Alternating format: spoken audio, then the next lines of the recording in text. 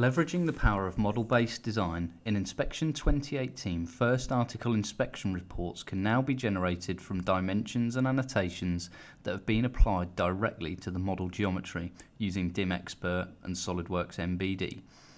New projects can be defined with just a few clicks. First choose your template, then SolidWorks Inspection instantly recognises and extracts critical information from your model, such as custom properties, dimensions and annotations. Next, choose the type of 3D annotation you want ballooned, and then in a matter of seconds, inspection will go ahead and balloon and extract all of the key information required.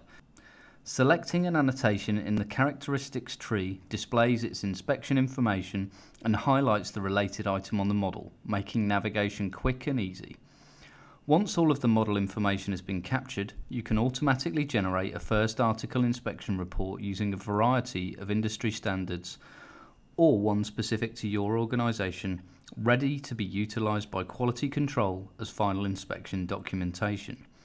Using SOLIDWORKS 2018, first article inspection reports can be created in minutes instead of hours. So we've seen the ability to generate inspection reports from parts and assemblies. We can use PMI directly. We can also export directly to Excel an inspection as a product allows greater flexibility because we have an add-in and a standalone application that we can use. Thanks very much for watching.